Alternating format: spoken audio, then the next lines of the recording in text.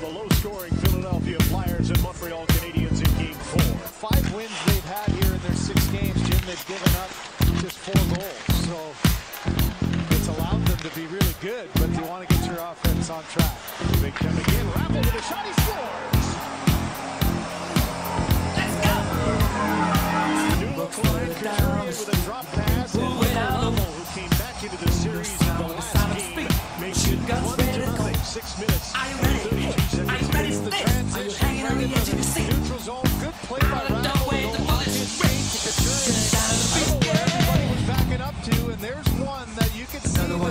Positioning of Carey Price. He lost his net a little bit. He's over. Another one bites the dust. a shot that Carey Another Price one. stops and has a Another little one. trouble hanging on Another one bites the dust. You, you think about the focus and calmness of Carey another Price one there. bites the dust.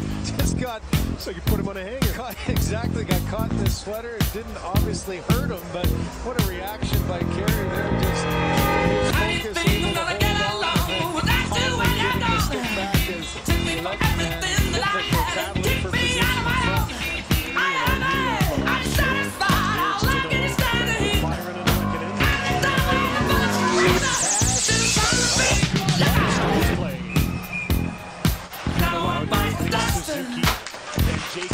There's another different line. Another one bites the dust. Another one As Bentley carries the puck up to center. Another one bites the dust. Up on the play is Phil Hey, Myers. Gonna get lot to of Another one bites the dust. What an unlikely shot to go in. Phil Myers makes it 2-0 Philadelphia late in period number two. The mistake may have just happened. Is it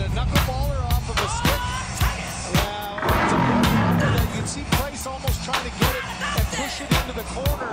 Instead, with that little deflection, watch the one hop. He's trying to kick it over in the corner. He overplays it with that little hop back, and it ends up with the one skip on the inside of that. His reaction immediate, looking up to the skyward.